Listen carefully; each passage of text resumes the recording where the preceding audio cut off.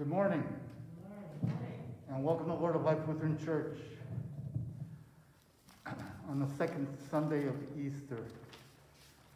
We will be having an outdoor worship at 11 o'clock. It's uh, gorgeous out there right now.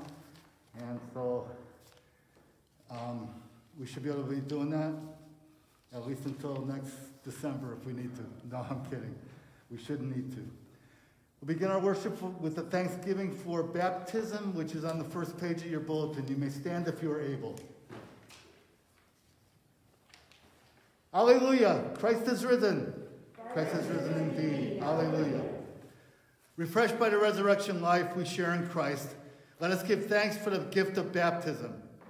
We thank you, risen Christ, for these waters where you make us new, leading us from death to life, from tears to joy. We bless you, risen Christ, that your Spirit comes to us in the grace filled waters of rebirth, like rains to our thirsting earth, like streams that revive our souls, like cups of cool water shared with strangers. Breathe your peace on your church when we hide in fear. Clothe us with your mercy and forgiveness. Send us companions on our journey as we share your life. Make us one, risen Christ. Cleanse our hearts. Shower us with life. To you be given all praise with the Holy Spirit in the glory of God, now and forever. Amen. The opening hymn is uh, 363 Come, you faithful, raise the strain.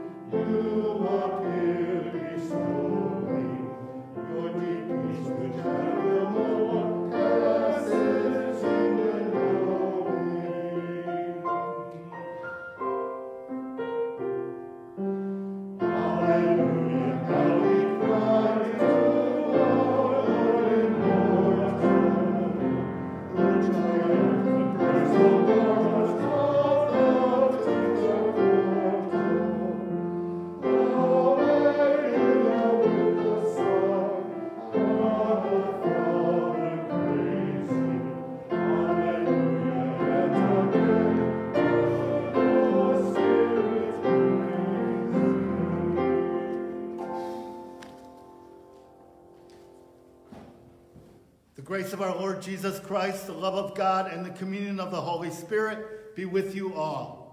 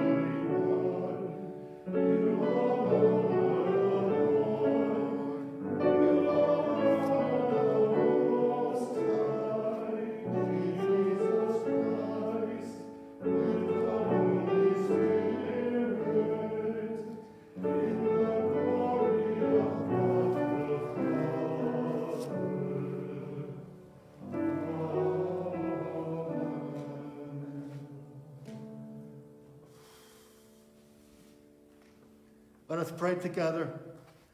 Almighty God, with joy we celebrate the day of our Lord's resurrection. By the grace of Christ among us, enable us to show the power of the resurrection in all that we say and do. Through Jesus Christ, our Savior and Lord, who lives and reigns with you in the Holy Spirit, one God, now and forever. Amen. You may be seated. The first lesson is from the book of Acts, the fourth chapter. Now, the whole group of those who believed were of one heart and soul, and no one claimed private ownership of any possessions, but everything they owned was held in common. With great power, the apostles gave their testimony to the resurrection of the Lord Jesus, and great grace was upon them all. There was not a needy person among them, for as many as owned lands or houses, houses sold them and brought the proceeds of what was sold. They laid it at the apostles' feet, and it was distributed to each as any had need.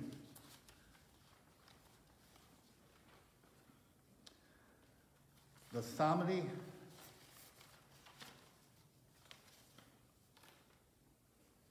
is Psalm 133. Boy, both the first lesson and the psalmody seem to be uh, record setters in shortness and brevity. We'll read it responsively. How good and how pleasant it is when kindred live together in unity.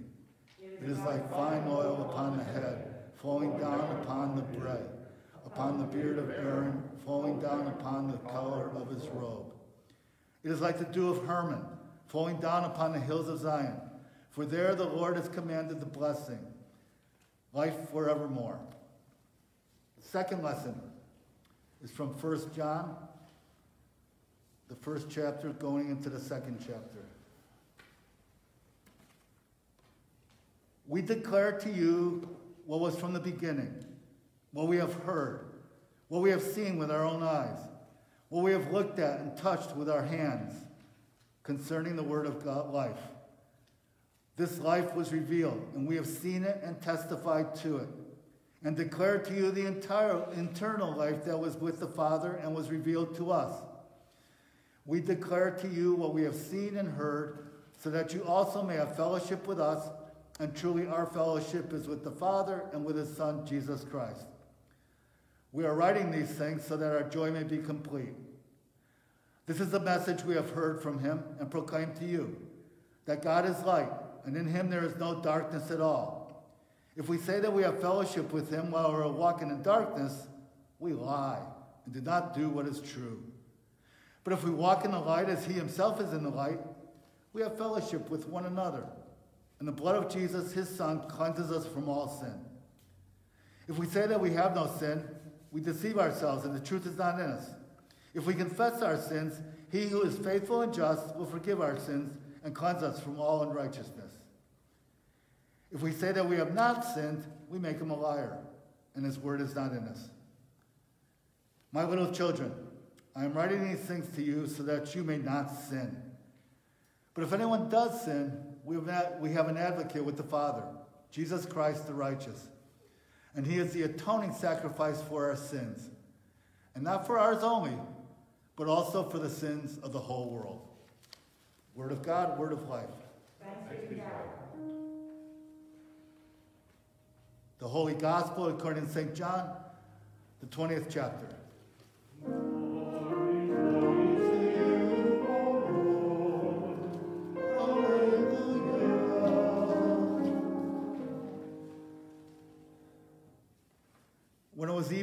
On that day, the first day of the week, and the doors of the house where the disciples had met were locked for fear of the Jews, Jesus came and stood among them and said, Peace be with you. After he said this, he showed them his hands and his side.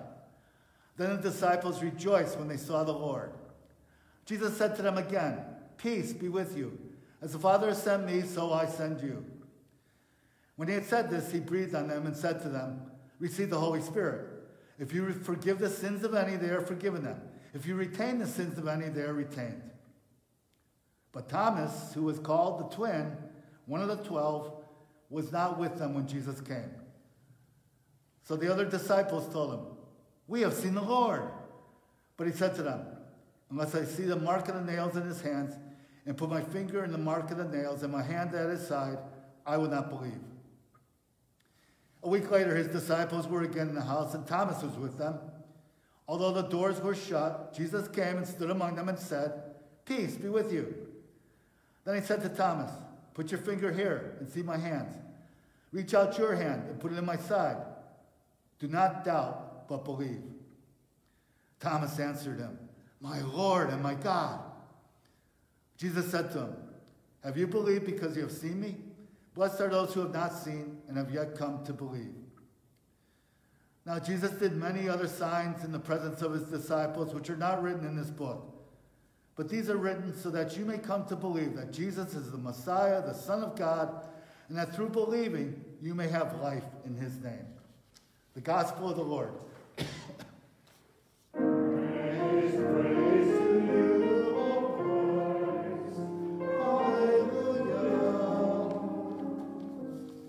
May be seated. In the name of the Father, and of the Son, and of the Holy Spirit, Amen. Let us pray. O Lord God, Heavenly Father, may the words of my mouth and the meditations of our hearts be acceptable in your sight. O Lord, our strength and our Redeemer. Amen. So if anybody was expecting, as usual, the, the, um, the sermon after the Sunday of Easter, the second Sunday of Easter, it's usually about Thomas. I'm leaving him out this time. We're going a different direction. We're going in the direction that the second lesson from 1 John is taking us. So I entitled this, well, what do you say?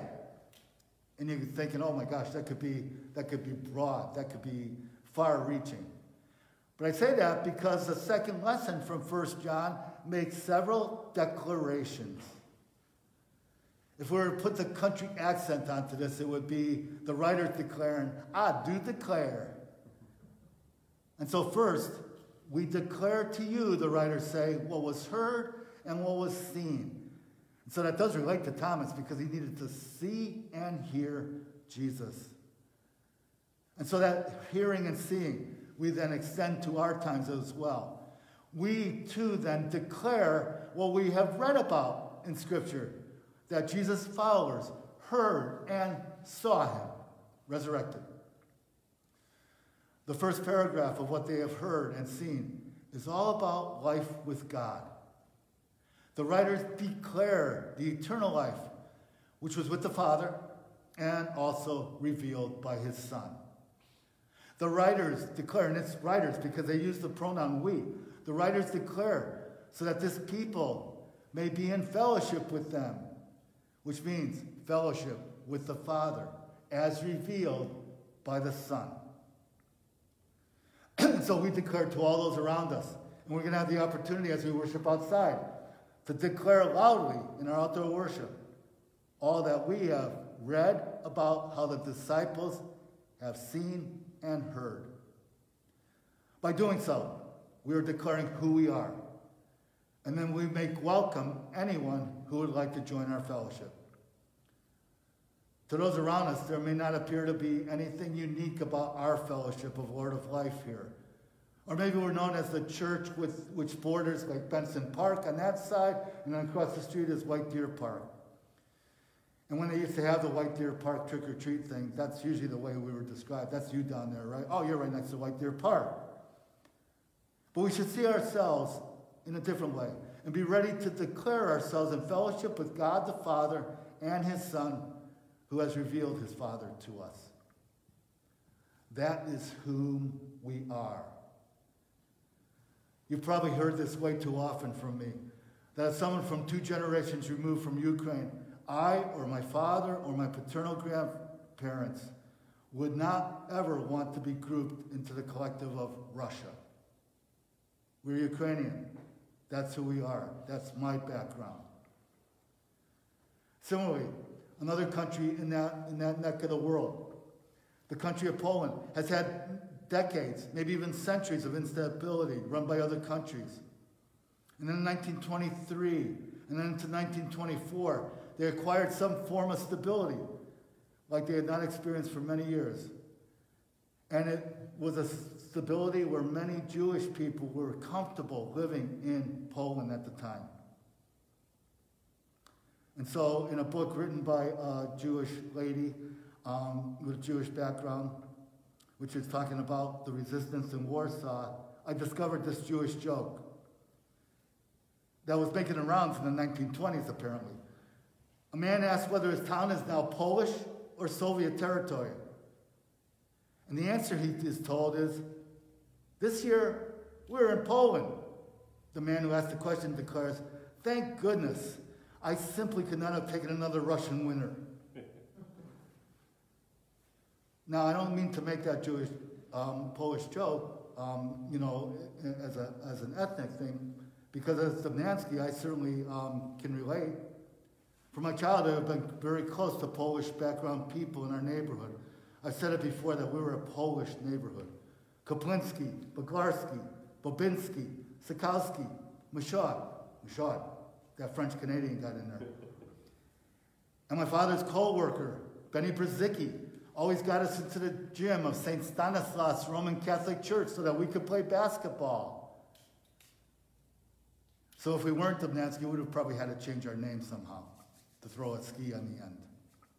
Nonetheless, this Dobnansky, amidst all the other skis, was Ukrainian background over against the Polish background of all those around me. And we could be proud of that, whether we're Polish or Ukrainian. But even more important, Lutheran in the midst of the Polish Catholics. And even more important than that, we're all Christian. And that, I think, figured into Benny Brzicki always getting us, able to get us into the basketball court, even though we weren't Catholic. National correspondent Ari Shapiro followed a story from Alabama, and this is an amazing story, in which a representative was actually challenging a school district's decision to incorporate yoga into the physical education program of a certain school district. And he challenged it on the grounds that it was not in keeping with Christian tradition. It was Hindu, according to this person.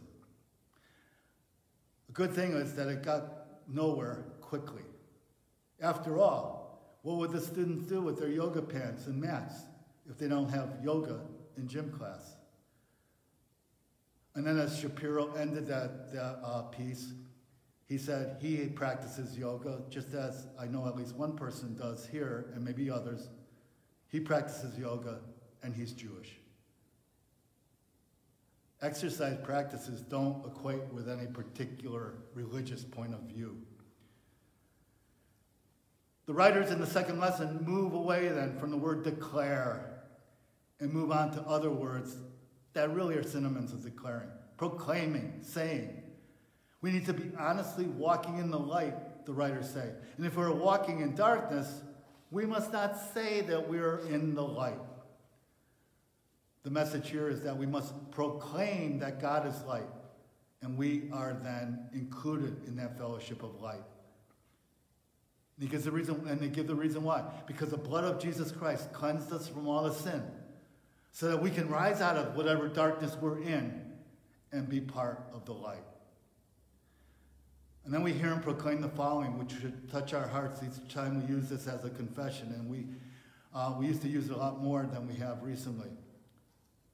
The writers say if we say we have no sin, we deceive ourselves, and the truth is not in us.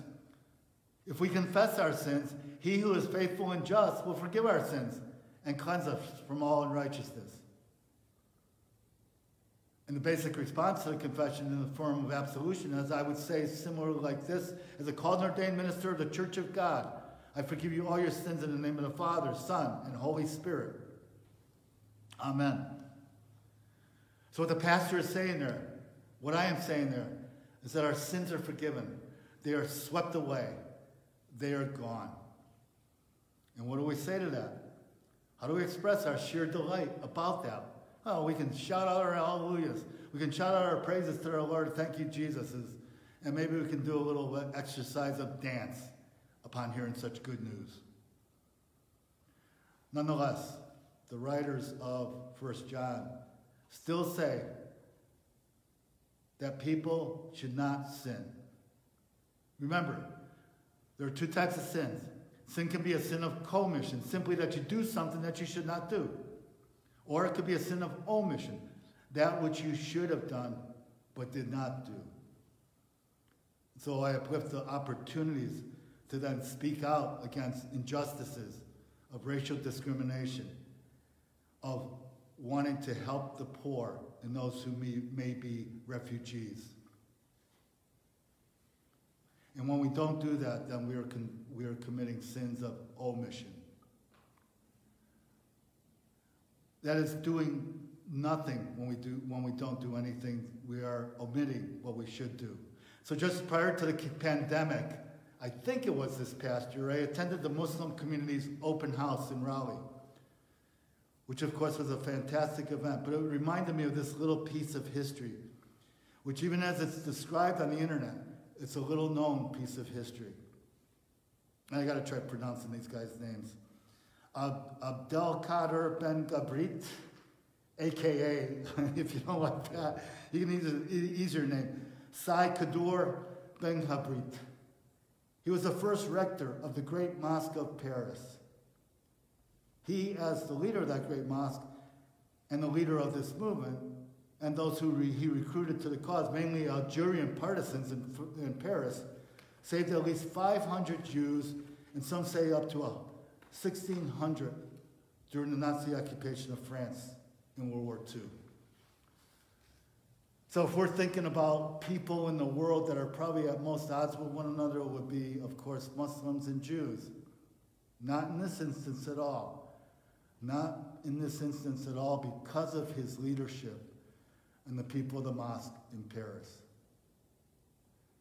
The last verse in our text states that Christ is the atoning sacrifice for all. Not just our sins, but for the sins of the entire world. And then going back up to the beginning of our text in the second lesson, in the second verse, the writers mention hearing, seeing, touching the word of life.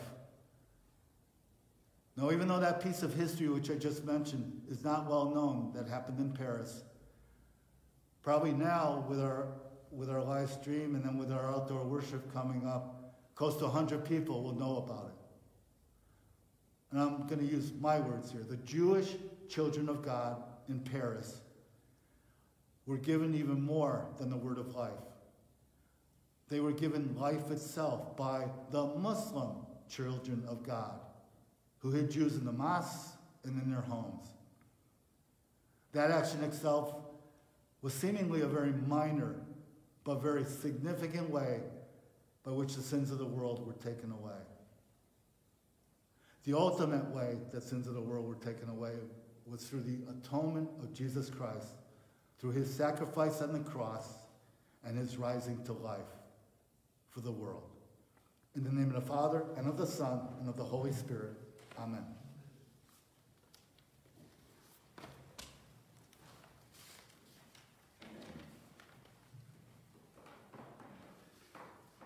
The hymn of the day is number 380 Hallelujah, Jesus lives.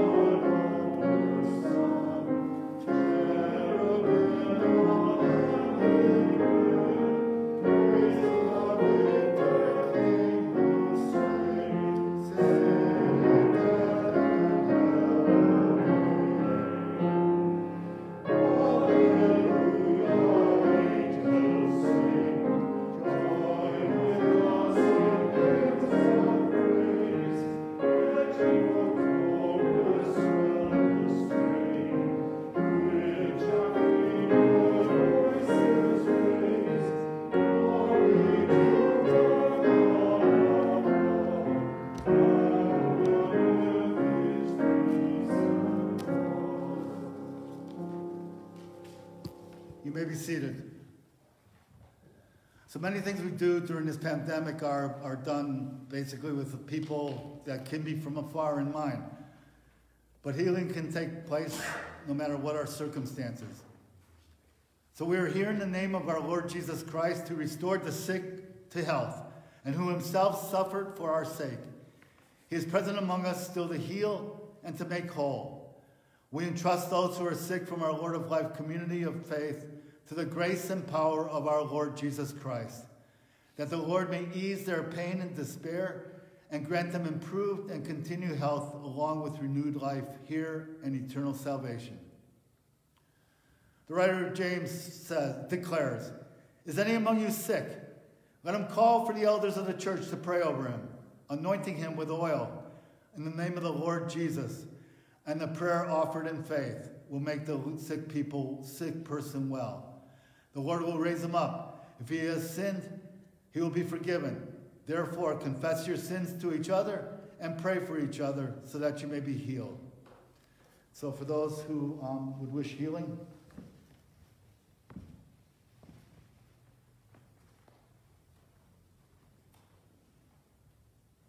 I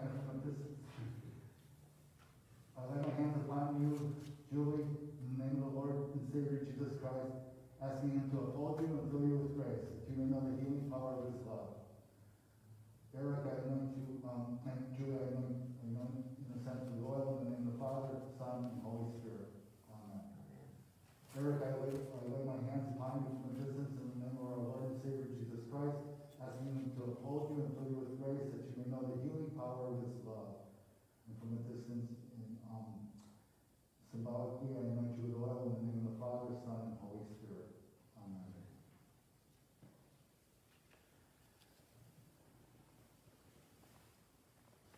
Let us bow our hearts in prayer.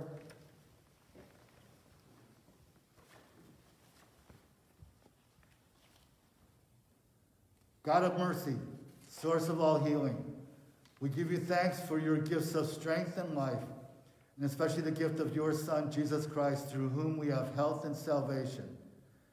Help us by your Holy Spirit to feel your power in our lives, to know your eternal love, and through Jesus Christ our Lord, to know your love for us. Amen. And I, I do want to include, um, as well from a distance, um, Bud and then Dennis.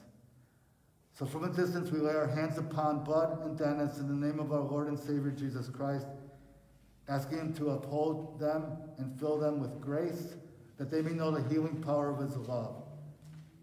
And we anoint symbolically with oil in the name of the Father, Son, and Holy Spirit. Amen.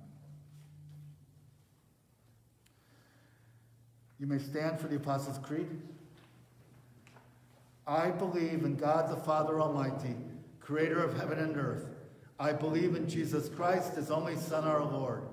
He was conceived by the power of the Holy Spirit and born of the Virgin Mary. He suffered under Pontius Pilate, was crucified, died, and was buried. He descended into hell. On the third day, he rose again. He ascended into heaven and is seated at the right hand of the Father. He will come again to judge the living and the dead. I believe in the Holy Spirit, the Holy Catholic Church, the communion of saints, the forgiveness of sins, the resurrection of the body, and the life everlasting. Amen. Alive in the risen Christ, by the power of the Holy Spirit, we bring our prayers before God who promises to hear us and to answer in steadfast love.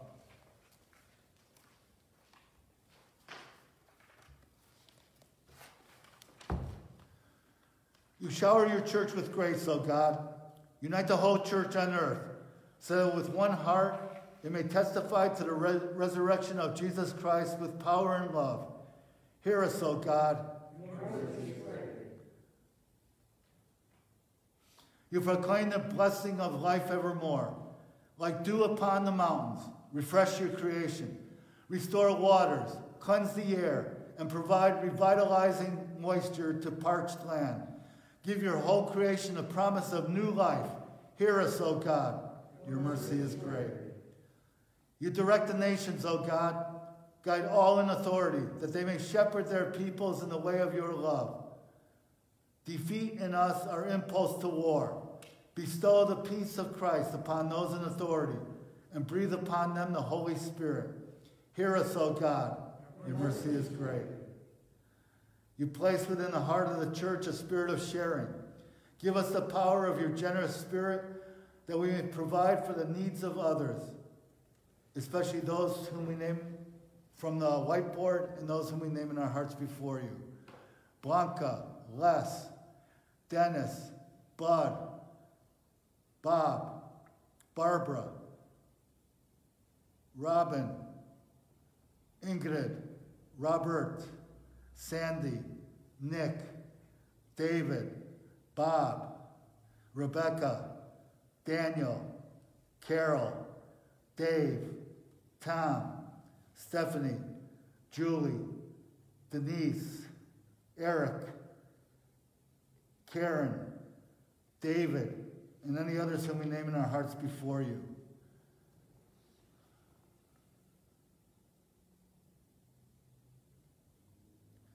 Announce your peace to those who are sick, lonely, hurting, suffering, or afraid. Hear us, O God.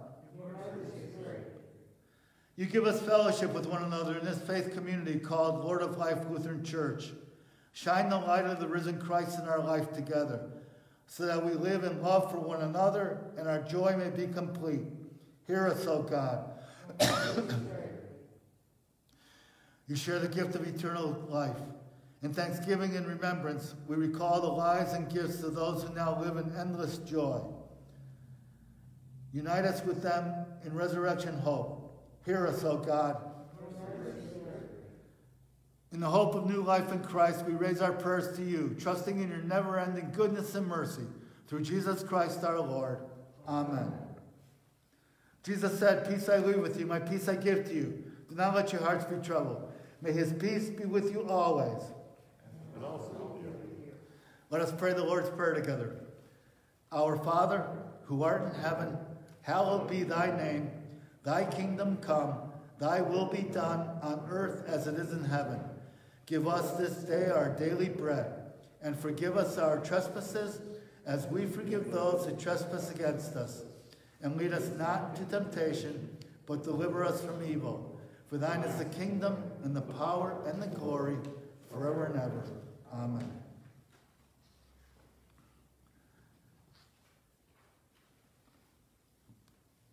We'll close with the Benedictus.